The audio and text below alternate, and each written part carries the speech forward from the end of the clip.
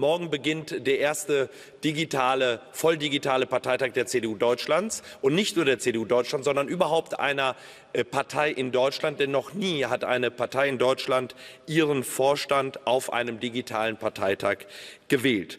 Dieser digitale Parteitag ist Auftakt in das Superwahljahr 2021 mit sechs Landtagswahlen, zwei Kommunalwahlen und im September mit der Bundestagswahl. Wir haben im Bundesvorstand auch eine Berliner Erklärung anlässlich des Parteitages verabschiedet. Und unter anderem unterstützen wir darin auch Bund und Länder in ihren Anstrengungen, so schnell wie möglich, so viele Menschen wie möglich zu impfen und damit auch dem Licht am Ende des Tunnels näher zu kommen.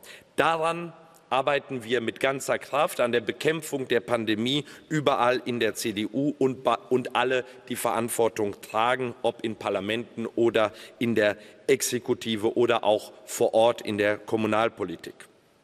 Der, das Präsidium und der Bundesvorstand hat ferner Annegret Kramp-Karrenbauer ganz herzlich für ihre Arbeit als Bundesvorsitzende der CDU Deutschlands gedankt. Und ich will mich hier auch in dieser Pressekonferenz äh, ganz ausdrücklich noch mal diesen gemeinsamen Dank persönlich anschließen, denn es war eine sehr, sehr gute Arbeit, eine sehr vertrauensvolle Arbeit und es war eine sehr freundschaftliche Arbeit. Wir haben ferner bekräftigt im Präsidium und auch im Bundesvorstand alle miteinander, dass wir, egal wer neuer Vorsitzender der CDU Deutschlands wird, gemeinsam hinter dem neuen Parteivorsitzenden stehen werden und gemeinsam diesem Land dienen werden als große Volkspartei der Mitte.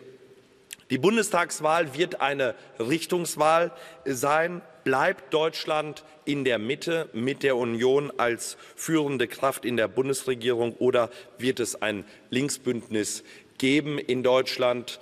Darum wird es gehen, und wir stellen die Weichen dafür, dass wir die Menschen von unseren Vorstellungen auch für diese Dekade überzeugen werden. Und der Auftakt ist, wie gesagt, dieser Bundesparteitag hier live aus dem CDU-Studio in Berlin. Ferner hat der Bundesvorstand einen Antrag eingereicht morgen für den digitalen Parteitag. Da geht es um die Digitalisierung der Parteiarbeit. Wir sind die digitalste Partei Deutschlands und das bringt dieser Antrag auch mit seinen Inhalten noch einmal zum Ausdruck und unterstreicht unsere Forderungen, die wir bereits auch in der Öffentlichkeit formuliert hatten. Können Sie bestätigen, dass die Kanzlerin auf schnelles Handeln und Verschärfungen in Sachen Corona-Maßnahmen gedrängt hat?